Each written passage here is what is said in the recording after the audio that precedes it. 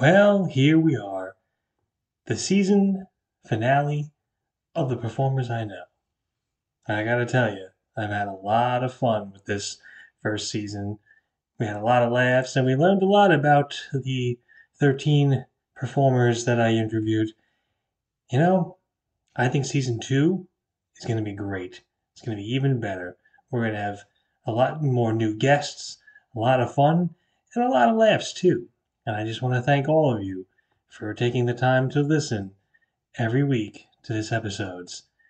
Without further ado, here is episode number 13. My special guest, Shannon Shipp. Episode 13 of The Performers I Know, coming at you.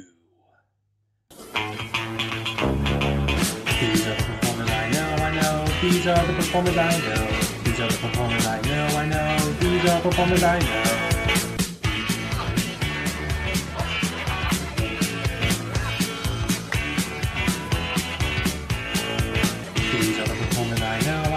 These are the performers I know. These are the performers I know, I know. These are the performers I know.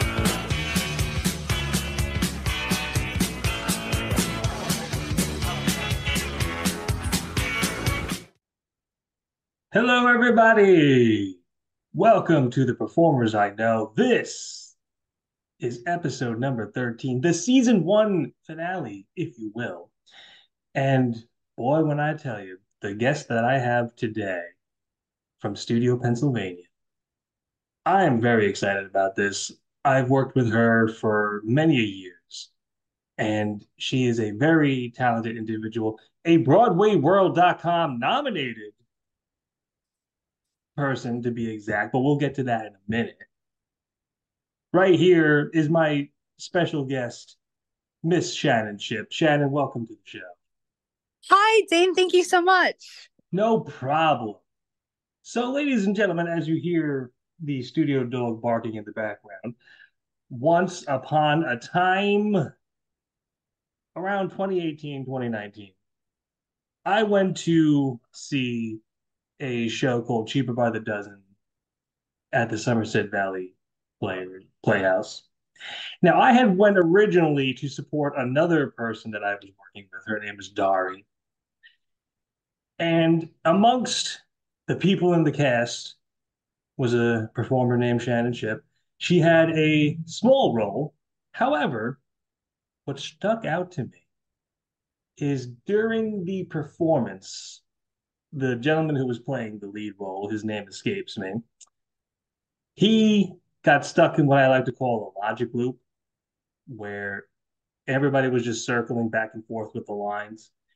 And I'm sitting there going, oh my lord, they somebody somebody does not know their cue or somebody's missing their line.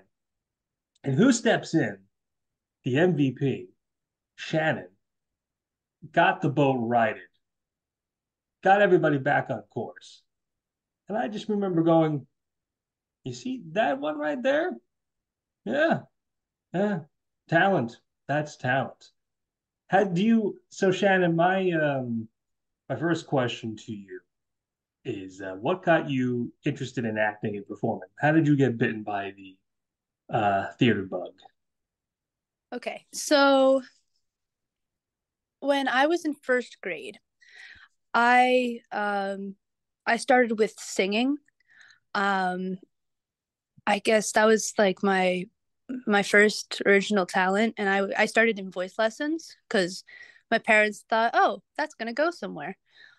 So uh, I was singing before I could read, and I worked with someone, um, and they had a connection to Rider University in New Jersey. And they said, Hey, have you ever tried musical theater? And I said, No, what is that? So after she told me of a little performance called White Christmas, I auditioned there and got the lead role of Susan in the musical. Um, and I thought it was just going to be something I tried out. And I fell in love with it, quite honestly. And it made me want to do it for the rest of my life. It was just an amazing experience, an amazing feeling, and um, I, I love just watching, making people happy, and and just giving them that joy. That's lovely. Do you know what I was doing in the first grade? I was Well, I was eating my boogers and sticking crayons in my ear. So you you were way ahead of the game on me. So after that first performance of Cheaper by the Dozen, I did something that I very rarely do. I went to see the show again to approach Shannon's parents and say, "Hey, I have my own theater group and I would love to have Shannon be in one of my shows." And they said yes. Uh, fast forward a little bit, and my young Sherlock Holmes project, The Caper at Christmas. Now, originally, Shannon had the role of Amaryllis, the best friend of the main character, Grace Duval. mm-hmm. However, the girl playing Grace Duval decided to just drop out. But we're not going to get into that right now. So I looked at my uh, situation and went, you know, Shannon's a very capable actress. I'm just going to give her a little promotion to the lead role. And as I recall, Shannon, apparently you freaked out after I called your mom and, and offered you the lead role. I do remember that. Yes, I was Yeah. very excited. That was only my second play. Cheaper by the Dozen was my first play. Well, I mean, I thought I technically it was your third. If uh, White Christmas wouldn't that be considered? Well, that's are we are we talking semantics here? Well, I'm talking like that was a musical. As terms of like just a play, that was like my first. Oh, right, yeah. Yeah. So I, I was just really excited. I'm glad you were here to correct me on that. Well, I don't know what I would do without you. See, see, there you go. See, you got the logic loop cut. There we go. So we had this play go off. We were in two festivals, and Shannon just did amazing, as did the cast. The whole cast was just lovely. And I really knew then and there that I wanted Shannon to just be in as many of my shows as humanly possible because she's so very, very talented. We fast forward to 2020 and the COVIDicals, as it were, and just the, as I've said before, I thought I was, my goose was cooked because it's like, well, no one is doing anything now. Theaters are shut down. What am I going to do? hmm But then came the lifeline of, hey, virtual theater. Nobody has to go anywhere. You could just plop down in your chair or sip some cocoa and do your shows. And there we go. And Shannon did a multitude of shows. Actually, I think she might be she might be the most have the most credits in my virtual shows since 2020.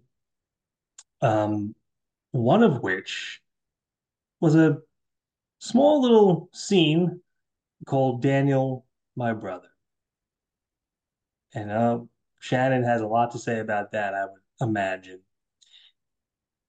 This project spanned about three years because it was different. I mean, well, first of all, Shannon, when you read the script, what was your first impression of I just remember reading it and I remember just like remember I just remember like I read it, I looked up, took a breath and I was like, wow, this is amazing. Like it was I do remember thinking this is like one of the best things you have ever written and I was so excited. Everything else was just straight up garbage. No, just No, no, no.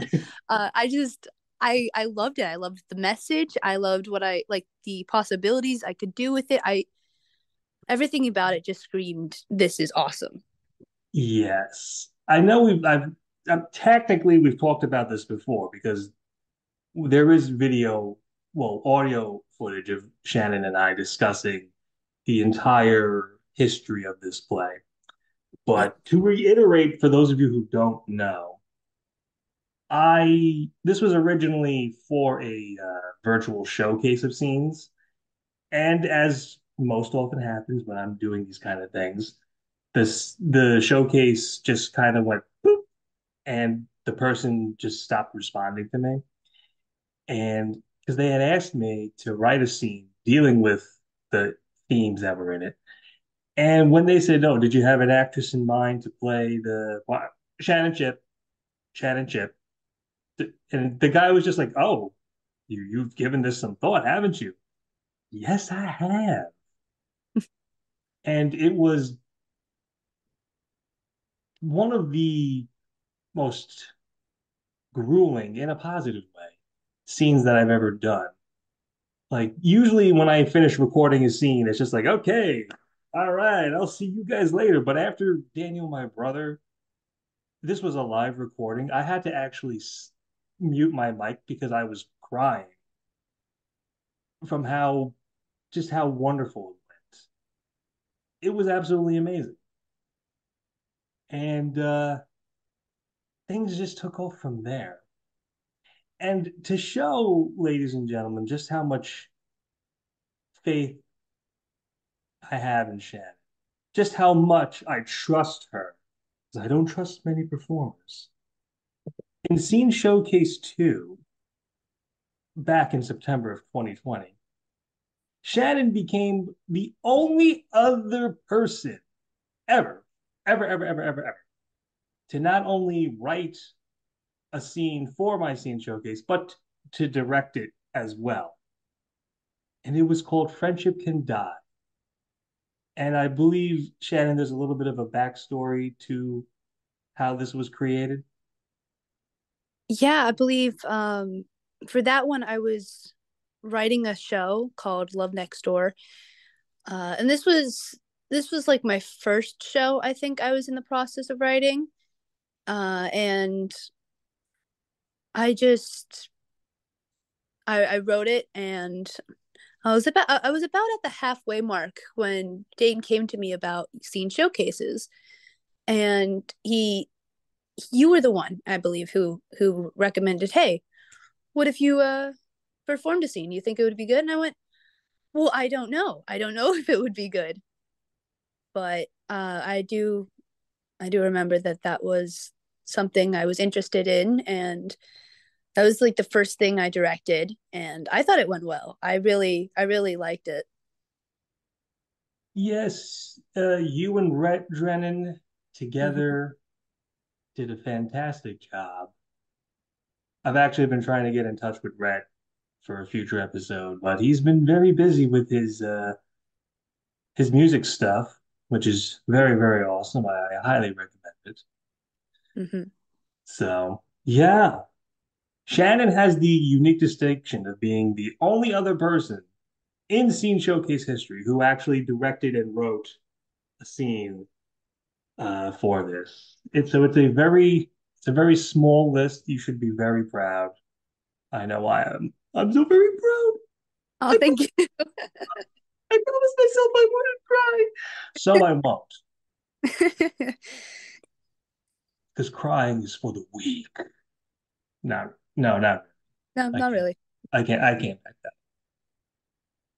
Now, the one, I think one of my favorite, well, actually, two of my favorite uh, early Shannon showcases of her talent came in the form of the, well, one of them was the Guardian game. Mm-hmm. Oh, yes. This was another one where I wrote the uh, script and I looked at it and went, you know, this Mindy character, I can't see anybody else doing it but Shannon. Because, quite frankly, the fact that Shannon is able to play off of all the wacky characters that I did in that show is just a testament to her talent. And what, Shannon, does it really? What do you think it takes in terms of, you know, keeping a straight face and just rolling with the punches when someone's acting all waxkadaisical like I was playing those different crazy uncles. Well, I had, let me just say, I had the best experience with that show. Uh, I remember you talking about it, and every every character just got crazier. Um, I just when I was acting through it, I just remembered like thinking of it as realistically as possible. Like there are people who act like this. Um, and as funny as it is, you know, it had rehearsals where I remember we would do a little bit of Daniel, my brother, um, you know, which was just sad and dark. Um, and then to lighten us up afterwards, we would do the Guardian game, which was playful and funny. Uh, and I remember that. And I remember just being able to laugh at it then. But then when we got into the characters to do the show, it was like, oh my gosh, this this girl has such a dilemma and all of these crazy uncles are ridiculous. Um, but I mean, to look at it in a serious light was how I kind of kept a straight face. Like Mindy wouldn't just burst out loud laughing. She would just be like, "Oh my gosh, what am I doing? Who's the right person to choose? Everyone is worse and worse." So I think she she really she was because she was a very like adult character seeing that her parents had had passed and she was really trying to do what was best for her which was like such a mature thing at her age. Mm-hmm. and i remembered trying to to go off of that and trying to really be her character. Well i, I can't remember which uncle it was where you were just could not pronounce the name. So you would just do a very exaggerated was it mortimer? Yes it was, it was. Um, so you, so for those of you who who want to know, Shannon would just go, Uncle Mortimer. it, it, yes, yes, Shannon, that's how you pronounce it. That Mortimer. is how I could not get that name right for the longest time. for the longest time. yeah. I did feel bad about it. I did apologize. Like after every single scene, I was like, I'm so sorry. Yeah. You know, I, I it took me about seven years to forgive you, but oh. gosh darn it, I finally did. Yeah, I'm still trying to forgive myself on that one. oh, goodness gracious. Mm-hmm. Well, the one another thing about Shannon that really I just absolutely loved is the is her being able to roll with the punches and just jump into roles with very little notice because there's been two occasions where I've had to ask Shannon to jump into a role where a person just decided not to show up. Uh, there was a particular uh, young Sherlock Holmes adventures, which was mm-hmm. basically just three vignettes with young Sherlock Holmes. And in one of the segments, a woman who was supposed to be doing the a specific character just decided I'm gonna no call no show. Oh, fantastic! So I'm scrambling around. I'm calling everybody I know. Just I called about three or four people, and they were all like, "Oh, sorry, I'm busy." So I'm like, "Oh my god, I, I don't know what to do." I call Shannon, and she's just like, yeah, send me the script. I'll do it. and by God, she acted the crap out of that one. Mm, that one was fun. Yes. You got to play a little bit. Your character was older than you were at the time. So it was just. It was. I remember I was at dinner and my mom's like, um, Dane called. Uh, he wants you to jump in for a show. And I went, yeah, okay. I'll, I'll hmm. do that. Uh, I got okay. it. Okay. The same thing happened with Tailor Made Hero. Yes, yeah. Mm, the lead gal just she vanished. Don't know what happened to her. Don't really care for that matter. She just stopped. Well, her mother stopped replying to emails. And I'm emailing, emailing, emailing, going, hey, so are you recording this or not? Nothing. So uh, once again, it was like, oh, Shannon, Shannon, Miss Shipp, if you would be so kind. Oh, that one was a nightmare because I had like 27 people record separately, and I had to stitch every single one of you together. Mm-hmm. Yeah. What I guess the next question then, with that in mind, is um, do you take it as a sort of challenge to jump into a role with little notice, or is it more, would you prefer, I suppose this is a silly question, would you prefer to have a little more time to kind of digest a character? I think it depends. I like doing both. Um, having the experience with doing both.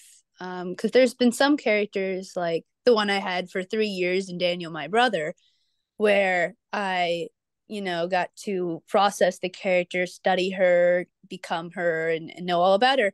And then there was a tailor made hero where I just got to jump in and have a lot of fun with it, even though um, I didn't know the character as well. And by doing that, I just I used instinct, um, and I I got to have I, I get to have a lot of fun with doing that kind of stuff. And I remember even even then you were like, oh, that's great. I mean, which you know was good for me. Glad, I'm glad I was doing my job in the right well, way. There was actually one point where I had to mute my mic because I was cracking up. Because there's a part where the princess beats up a bunch of little goblins, yeah. and Shannon just was really into it. Like, you're going to be in a world of pain. And I just remember I was, I muted my mic and I'm laughing. And I just heard Shannon go, Dane, where'd you go? Are you still? like, I'm, I'm here. That was just too hysterical for words. yeah, I love the comedy. Um, I'd say I love both. I if I had to prefer one, if I had to, because I love I love it if I had to prefer one, I would say probably studying the character for as much time as I could, especially if it's a deeper character. If it's a more comedic character, I'm I'm all into doing instinct and like yeah, practice. We did get to practice that a bit, but then just using instinct and having fun with it is is something that I like. It's yeah, you know the one of the things that I do like is how Shannon just you can tell she's one of those performers that really likes you can tell she's having fun with a role. Um, and that I think shined through when you did our American Tail reading as Bridget, the Irish mouse. Oh yes. yes. And I remember I had I was like, all right, let me audition a couple of girls and see. And you know, everybody was nobody was doing the accent. And then Shannon was just like, uh, let me try the accent oh, Tony, isn't it grand? Like, oh, okay, yep, you got it. Right. I yeah, I did not know an Irish brogue. I literally had to learn it for that role. Um, I I just went with it. I um that is still the line I use today to get into roles. Like, oh Tony, isn't grand? Like I just I I love doing accents and learning new things because I know it will help me. It was just like I remember watching that movie like a million times trying to get these these lines down with the accent. Well, you know, it's funny because you got paired up with Rhett again. And yeah. he had to learn to do a Brooklyn accent because he's from Tennessee. That's true. And I was just like, okay, well, he learned to do a Brooklyn accent. She learned to do an Irish accent. I guess, uh, I guess I should pat myself on the back, telling yeah. people that uh, they were able to I was able to get people to do their uh, accents and whatnot. Yeah, it's the capability of your actors. They just we did it. Well, another capability that Shannon has is the ability to act against herself. Um, in particular, playing not just a teenage version of herself, but the older version of herself when she did Things Will Be Okay. Yeah. Donna, that one was definitely one of the hardest roles I think I've ever had to do. Well, you know, it's funny because what I think is a testament to your abilities.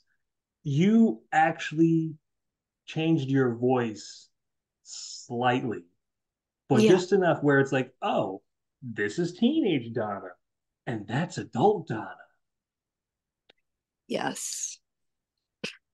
So Yes, good on you for that.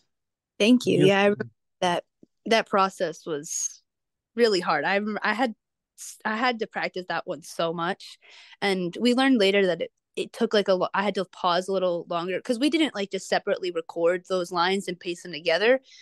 We like did it all in one take, and it I had to just do younger me, take a pause, change, and go older me, and that. Well, that as was... I recall, I gave you the option of, okay, we can record teenage Donna's lines and then record older Donna's lines, and you were just like, no, no, I'm not gonna. I think it helped doing it straight through, knowing that like kind of helped me with the difference in the voices. Mm-hmm. So yes, as I well as I mentioned in the beginning of this episode, Shannon is a BroadwayWorld.com nominated actress because eventually, with Daniel, my brother, and then uh, Finding the Lost, and then The Loss of a Brother. All three of those scenes were combined into one three act play called Daniel, My Brother. And after a three year odyssey, a three year workshop period, we were able to get it done in a theater. And I found out that BroadwayWorld.com was doing their annual awards ceremony. And Daniel, my brother, just so happened to fall into the time period in order to be nominated. Like, okay.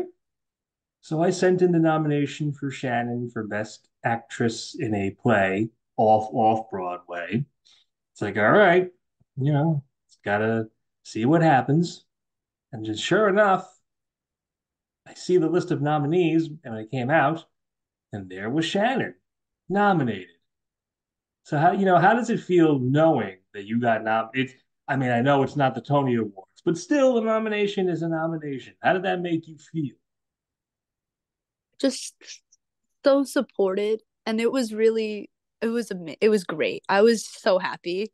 Um, I I got to see like the love and support and just the thanks for what I do, and I knew it was it was worth it, and I I just loved doing it. But to see my name up there was just so awesome. Yes. I mean, we we actually we did pretty well. Yeah. I gotta I'm not sure. I'm actually looking at the stats here. Oh wait, they they got rid they got rid of the voting things. But listen, we got we got some percentage of the vote. And at one point, Shannon was in second place. So, you know, people were people were paying attention, people were listening. I was in first place at one point, but then the machines started working and well, we won't get into that right now. But um yes. So it's really been amazing. And I couldn't think of a better person to interview to wrap up this first season of the performers I know.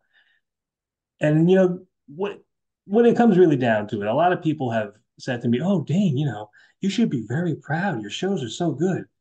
And I, what I often say is, you know, a director or a writer is only as good as the performers who do his work. And I, that really, um, I really feel the biggest example is Shannon because she is extremely talented. And I firmly believe um, that she will beat Audra McDonald's record for most Tony Awards. She's going to get like a hundred of them. Thank yeah. you. That I actually don't. How many? How many did she win? I don't even know. She has like what, twelve of them? I don't know. I can't remember. But she has a lot of them. But Shannon's going to get more of them. Anyway, we are looking at the clock on the wall. We are almost out of time. But Shannon, my final question to you, as I always ask, of my guests. Um, if somebody were to come up to you and say, Shannon, I'm thinking of going into the acting business, the theater business, what kind of advice would you give that person um, to help them succeed? Well, I would say that hard work means a lot.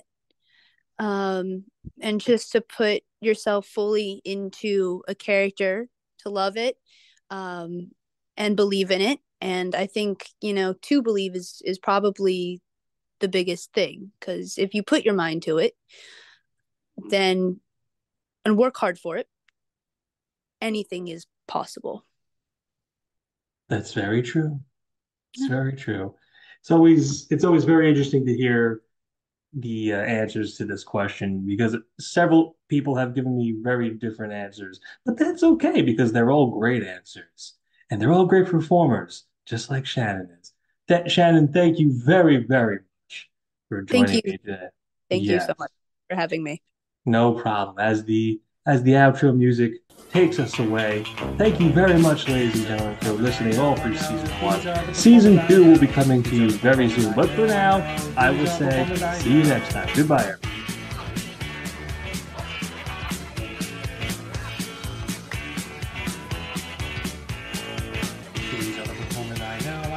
These are the performers I know, These are the performers I know. I know. These are the performers I know.